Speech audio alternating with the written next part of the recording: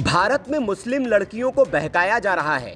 लालच देकर उनको हिंदू लड़के फंसा रहे हैं और भोली भाली लड़कियाँ फंसकर हिंदू घरों की बहुएँ बनने को तैयार भी हो रही है। कमाल की बात ये कि ये आंकड़ा सैकड़ों, हज़ारों में नहीं, लाखों में है। पूरे दस लाख मुस्लिम लड़कियों ने हिंदू लड़कों से शादी कर ली, मज़हब बदल लिया और हिंदू बन गई। सुनकर आपके पैरों तले की ज़मीन हिल गई होगी। लेकिन ये सच है, उतना ही सच जितना तौकीर रजा साहब जानते हैं। दरअसल ये आंकड़े तौकीर रजा साहब की व्हाट्सएप यूनिवर्सिटी के हैं और ये दावा भी उनका ही है। यकीन नहीं हो रहा है तो खुद सुन लीजिए। हिंदू बेटियों का उन पर हक था।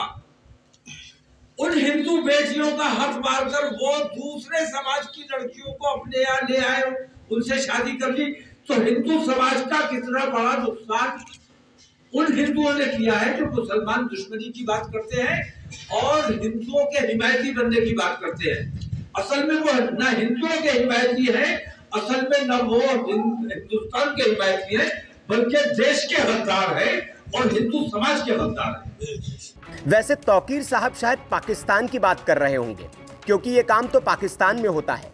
जबरन हिंदू लड़कियों को उठा ले जाना, उनका निकाह कर देना और फिर धर्मांतरण। भारत में ऐसा मामला शायद ही कभी सामने आया हो। हाँ ये ज़रूर है कि प्यार में पड़कर कई लड़कियाँ गैर मजहबी युवकों से शादी कर लेती हैं। इसमें सिर्फ़ मुस्लिम लड़कियाँ ही शामिल नहीं हैं, बल्कि सभी धर्मों से जुड़ी लड़कियाँ शामिल हैं।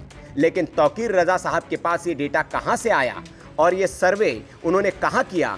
ये उन्हें सरकार को ज़रूर बताना चाहिए। और सरकार को भी तौकीर रजा साहब से पूछना चाहिए। Bureau report